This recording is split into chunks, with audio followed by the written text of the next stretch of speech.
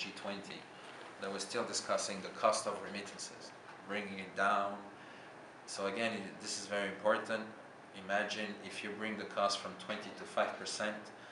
Uh, right now they're at 7 percent. There was a being, there's been savings of 37 billion dollars just in cost reduction.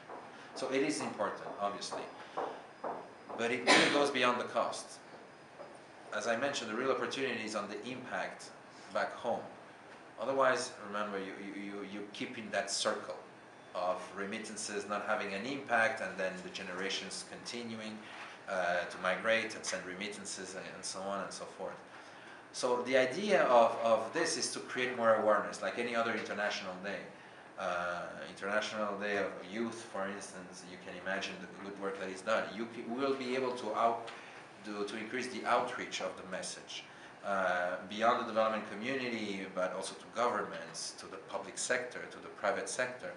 Uh, and the idea is to pass the word, the right word, on what this means. There's a lot of contradictory, you know, statements on remittances. Some will say, "Oh, remittances are very negative. Let's not touch it. They're they're increasing, they they create inflation.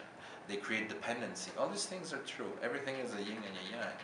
Uh, but remittances, I personally always say, is the bubble at the surface of the lake. The problem is not the remittances; is what generates them.